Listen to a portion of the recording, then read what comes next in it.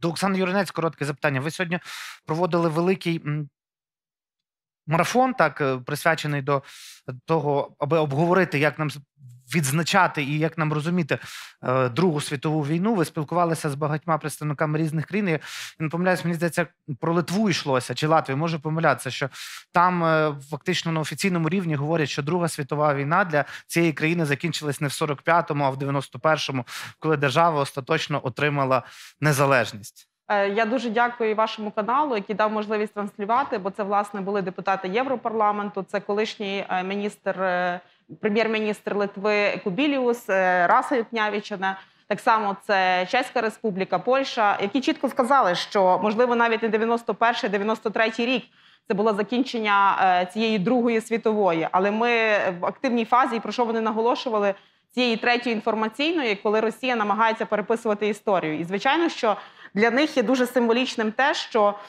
е, імперія не зупинилася. І для українців багато істориків я знаю, і в нас сьогодні вони сказали чітко, що Друга світова війна для України була частиною ну продовженням боротьби і готуванням до наступних етапів відстоювання цієї незалежності. І сьогодні наші колеги, європарламентарі, вони чітко так і заявляють, що ті імперські амбіції, які не полишила Росія, сьогодні право наступництва злочинно. І тому 8 травня, а не 9 – це день примирення і пам'яті. Ми пам'ятаємо і перемагаємо. На жаль, в Україні сьогодні війна е, триває вже довше ніж Друга світова війна. І багато з істориків так само і політиків чітко визначають, що Перша світова, яка розпочалася тоді е, на мосту у Сараєво, коли вбили Франца Фердинанда. Сьогодні це Боснія Герцеговина. А далі Друга світова війна, всі ці імперські амбіції, які далі кружляють. І е, спроба сьогодні нав'язувати Москвою е, свій порядок денний в світі е, це ніщо інше як продовження цієї невиграної війни. Далі культ Сталіна для них це дуже болісно, тому що вони чітко визначили, зокрема Балтійські країни, що другим ворогом, бо в Антанті в 39-му році були два вороги. Це був і безпосередньо.